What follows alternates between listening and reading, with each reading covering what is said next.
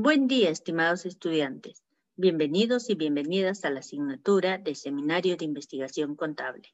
Mi nombre es Doris Palacio Rojas, contadora pública de profesión, magíster en gerencia pública con estudios de doctorado en ciencias contables.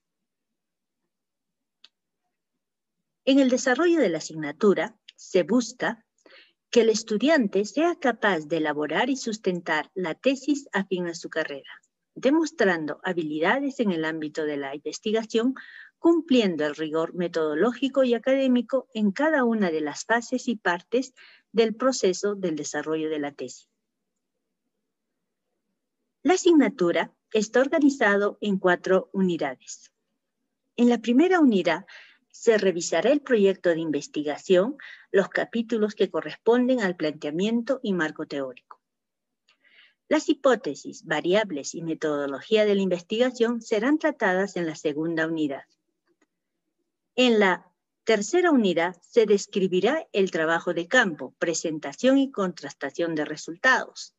Y para finalizar, en la cuarta unidad se realizará el análisis e interpretación de resultados, conclusiones y recomendaciones. Se calificarán mediante rúbricas los avances de los informes de investigación. Estas deben ser presentadas en el siguiente orden. Para el producto académico número uno, deben presentar hasta el capítulo 2 su trabajo de investigación. El producto académico número 2 consta de la presentación y exposición hasta el capítulo cuarto. El producto académico número 3 es la presentación de su trabajo hasta el capítulo quinto. Y el examen final es la entrega y exposición del informe final de investigación.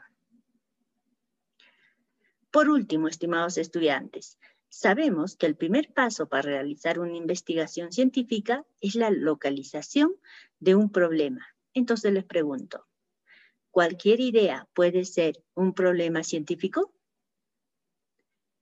En el desarrollo de nuestra asignatura, responderemos a esta y otras interrogantes. Los espero. Gracias por la atención prestada.